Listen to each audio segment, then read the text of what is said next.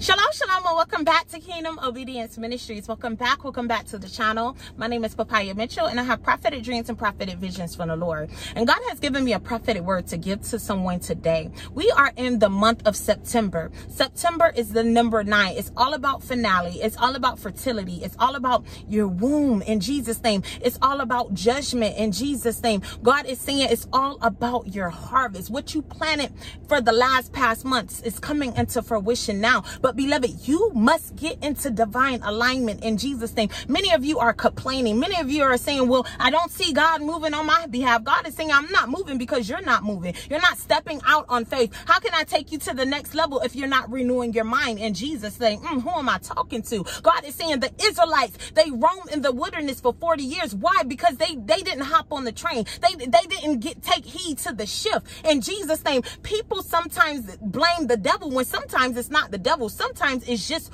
you you it's, let's be real it's just you. You're not moving. You're, you're, you're listening to the word, but you're not being a doer of the word. You're, you're thinking something's going to drop out the sky in Jesus' name. Yes, God works supernatural things, but he, it won't happen if you won't move. God says faith without works is dead. Who am I talking to this morning? God wants to do something in your life. God wants to do something big in your life, but first you have to move. First you have to take the steps to manifestation. So God can, what God is saying, what you bound on earth will be bound in heaven in Jesus' name. Do you understand what the Father is saying in this hour? God is saying whatever you loose on earth will be loosed in heaven. It's time to manifest some things in this month. This all this is the month of the this is the this is the grand finale, family. In Jesus' name, is wanting to do the, the, the big boom in your life in Jesus' name. God wants to move in your life, but beloved, you have to move. God works in times and seasons in Jesus' name. God is saying there is a time and a season for everything up under the heaven in Jesus' name. Beloved, if you don't understand time,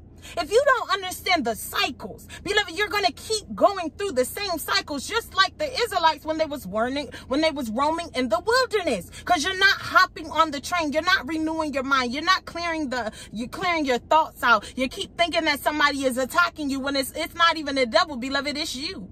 Mm, who am I talking to? It's you.